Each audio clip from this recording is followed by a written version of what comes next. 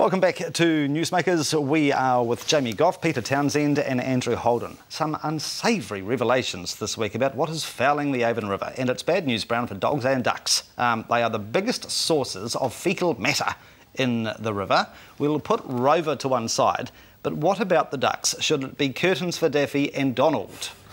Jamie. Well, what are they proposing that they do? Are they going to sort of extend duck hunting season all around to the, to the from the terrace, perhaps we could get shotguns out there with our lattes and, and yeah. take out the uh, take out the ducks. But I, I, think this is no dirty. As much as I love dirty secrets, I don't think it is a big dirty secret. You know, uh, the revelation there's duck poo in, in, in the river, I think, uh, would have been something I could have safely assumed. I think mm. anyone that deserve that, that decides to uh, do, do, regular laps in the Avon River, probably uh, Darwin's theory should take him out. Because mm. I, I, honestly, though, no one swims in the Avon River anyway, do they? Well, you still see people fish in the Avon, which gives me the heavies, to be honest. Would you fish in that river? I've seen a couple of nice sized fish there. I don't know that mm -hmm. I'd eat them. Mm. But ones who do get sick, though, are the rows. The rows and the kayakers, yeah. you know, and, and, and, for them it's a significant issue. Mm. Um, all those school kids down there training regularly have a horrible time of it. Um, I don't think you can shoot the ducks, unfortunately, but we've got to deal with the cows farting as well. So maybe there's a maybe there's an all, an all-purpose bag that can be popped at the back of wildlife that yes. solves a whole range of problems. Yes, exactly. We could do sort of like the equivalent of carbon capture, couldn't we? Exactly. With the wildlife, yeah. yes. Actually, the ducks have taken a bit of the heat off the dirty dairying this week, haven't they? to be honest, Peter.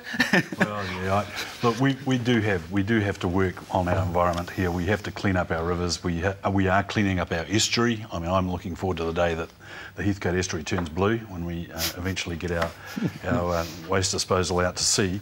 Um, the, the, this is a, a, comprehensive issue. I mean, the, the duck stuff is, is natural, or as natural as you're going to get in an ecosystem. So I can wear that. I have some problems with the, the dog stuff mm. because a lot of that is directed into our rivers through inadequate stormwater drainage um, systems. And I have a, a, an even bigger problem with the, the runoff that comes out of uh, people washing their cars and going down into the gutter and straight into the river. You know, sure. so it's a matter of degree. Um, I think we should be working to make our rivers as clean as we possibly can, but I don't think that we can avoid natural contamination of natural waterways. That's part of what we are. All right. Well, the great New Zealand accent um, is the most attractive in the English-speaking world. So says a BBC poll, and who could argue with them? And as the press website headline said so beautifully, really choice, eh? Um, is Australia demanding a recount, Mr Holden? Fair sack of the sab. uh, what, let's, let's not forget, it's after English, Irish and Scots, I think was the story. So, you know, you haven't leapfrogged the Scots no. that nobody can understand anyway. No. Can I assure you that Australians are very adept at, at taking the things from New Zealand that we think are of value, like Phar Lap and a couple of other elements. The accent is not one of them. Right. Andrew has spoken. Jamie, uh, are we proud? Should we be proud of our accent? Well, I don't think we have uh, re really any other choice. We, we, we, sort of have to be at something we're stuck with.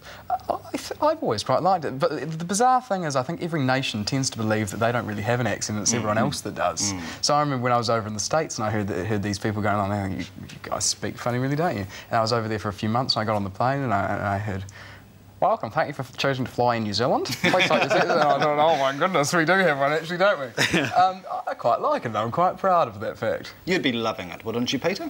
Yeah, I don't have any problem with the, the great New Zealand accent. Mm. Although, we, we, you know, if you come from Goro, you've got a completely different accent. I grew up in Rotorua, where it was pretty good up there, eh?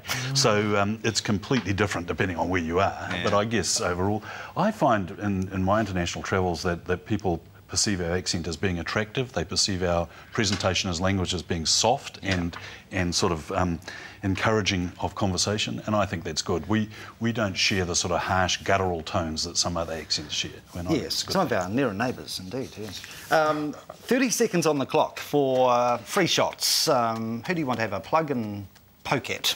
Uh, Peter. Yeah, I'll go first. I want to I want to have a plug of Air New Zealand. As I mentioned, I just like to Washington and back inside a week, and man, what a nice airline we've got compared to some of those American airlines that I travelled across the states in. And the, the uh, brickbat would be to people who are resistant to change in this community but not prepared to carry the costs of no change. I think we need to think about that. All right, very quickly. I think they're very good ones. I, I, think I'll give my thumbs up to anyone that doesn't understand, and this, um, I'm, I'm, not wrong, I mean this, anyone that doesn't understand the rules of the bus lanes. Right. The fact is, uh, you've got a couple of hours on the way in that you that you uh, can't use it. Mm. Every other time you can, so mm. I just cruise through this, pushing on, step aside. No one else understands it, so the longer they don't understand it, the, the quicker my commute to It's work. your board that's all to blame for this, you realise. Well, exactly, and so I'm not telling anyone how it actually works, so I can utilise it. All right, I've got 10 seconds. Peter's guaranteed his upgrade on the next New Zealand flight the All Whites, fantastic. Let's hope they get to the World Cup. Lovely. Uh, now, the pick of the week it comes from Toyota City, Japan. Um, of course, we've got fireworks season coming in, what, a couple of weeks' time? Do not try this at home. This is a fella making an offering to the gods. This is some ancient Japanese tradition, apparently. You can see a man in there, I think, amongst the shower of sparks. He's holding some bangers. Apparently, this is an age-old custom, and most participants suffer varying degrees of burns. You don't say, of course, in this country you'd be covered by ACC. Uh, the Newsmakers poll, last week's question, should the Washington Way skate park be enlarged despite the vandalism complaints? 74% of you said yes. Good stuff. Prize winner T. Hawkins. Uh, this week's question Did Barack Obama deserve the Nobel Peace Prize? We'll throw it over to you. Yes or no? Uh, email newsmakers at ctv.co.nz. Vote on the web, mikeyardley.com, or post to PO Box 1100 Christchurch. Do so, and you'll be in to win Michael Bublé's latest album and also this fantastic new box showcasing all things Kiwiana, Crikey, from piggy squares and jelly tips to bottle drives and biddy bits. Nice. Make your vote count and you're in to win. Thank you very much to our distinguished panel, Andrew Holden, Jamie Goff yes. and uh, Peter Townsend.